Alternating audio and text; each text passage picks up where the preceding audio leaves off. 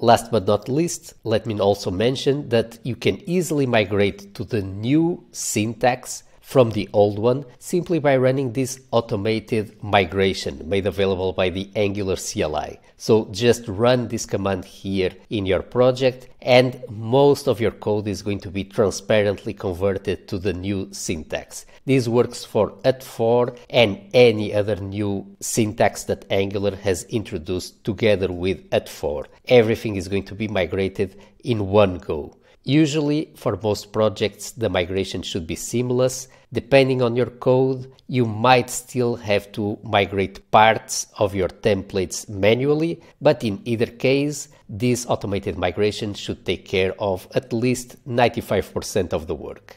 And so with this, we have finished the comparison between ngFor and @for. I hope that it's clear now that the new syntax is much better, so I encourage you to use it. Go ahead and run the automated migration and let me know how it worked. Let's now continue our course and talk about the next control flow syntax that we're going to cover, the at if syntax.